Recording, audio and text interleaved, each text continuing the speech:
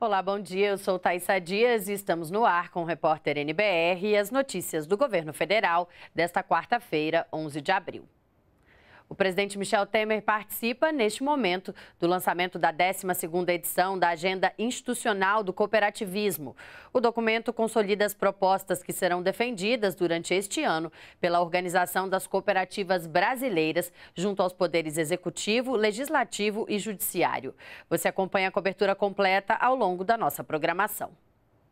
E ainda hoje, o presidente Michel Temer recebe parlamentares e participa da cerimônia de apresentação dos oficiais generais promovidos.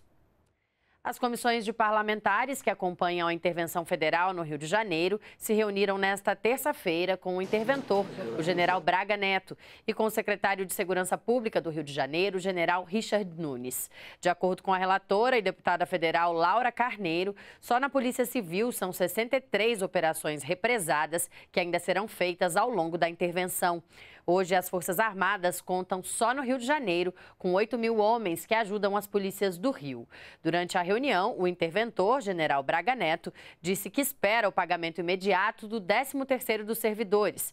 Além disso, o general disse que deve participar de uma reunião na próxima segunda-feira para tratar de 1.082 soldados que podem ser convocados por meio de um concurso público. E tem novidades para os consumidores que estão devendo cheque especial. Os bancos aprovaram novas regras. A partir de julho, as instituições financeiras terão sempre disponíveis para o consumidor uma alternativa mais barata para o parcelamento do saldo devedor. Os bancos se comprometem a mandar um alerta toda vez que o correntista entrar no cheque especial. Caso use mais de 15% do limite durante 30 dias seguidos, o cliente vai receber uma proposta do banco para mudar para uma linha de crédito mais barata. No extrato, o limite do cheque especial vai ser mostrado sempre à parte, separado do saldo da conta corrente. A opção pela linha de menor custo poderá ser feita a qualquer momento. Os bancos vão promover também ações de orientação financeira relacionadas ao cheque especial, especialmente no que diz respeito à sua utilização em situações emergenciais e de forma temporária. O programa Avançar foi criado pelo governo para concluir e entregar mais de 7 mil obras que estavam paradas em todo o país até o final deste ano. Um dos empreendimentos retomados é o residencial Canto da Serra, em Imperatriz, no Maranhão. Nesta terça-feira, o Ministério das Cidades e a Caixa Econômica anunciaram a liberação de recursos para finalizar 2.920 moradias nesse conjunto habitacional.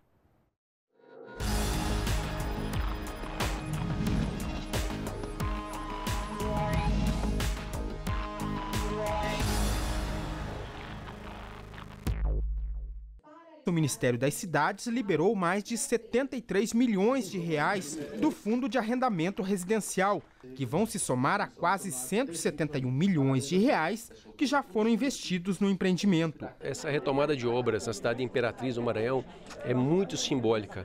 Primeiro porque prestigiamos acima de tudo aquelas pessoas que não têm a sua casa própria, que tanto esperam por ter o seu teto e também porque fomos duramente criticados em uma obra que iniciou-se sem planejamento, sem os corretos projetos e que não só problemas na obra, mas problemas também outros que agora nós estamos corrigindo acredito eu que definitivamente. As obras do residencial Canto da Serra iniciaram em 2014. Já se passaram mais de três anos e até agora as quase 12 mil pessoas que seriam beneficiadas ainda não receberam as chaves dos imóveis. Ao são sete condomínios da faixa 1 do programa Minha Casa Minha Vida, destinada a famílias com renda mensal de até R$ 1.800. O Maranhão, infelizmente, tem uma carência muito grande né, é, no que diz respeito à habitação.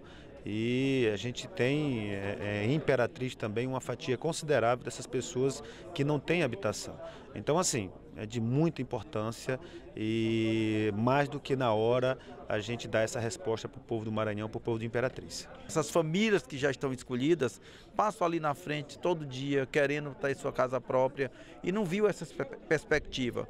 Com essa retomada da obra, essas famílias passam a ter um novo momento, essa felicidade que é proporcionado exatamente por essa maneira responsável de retomar essas obras e entregar essas obras para o povo de Imperatriz, em especial aí para o estado do Maranhão. A conclusão do residencial Imperatriz foi incluída no programa Avançar, que está retomando mais de 7 mil obras que estavam paralisadas em todo o país. Quando iniciamos o programa Avançar, havia-se quase 75 mil unidades habitacionais paralisadas. Nós estamos em aproximadamente 50 mil já retomadas, no caminho para que consigamos este ano retomar todas as moradias que estejam paralisadas para concluir.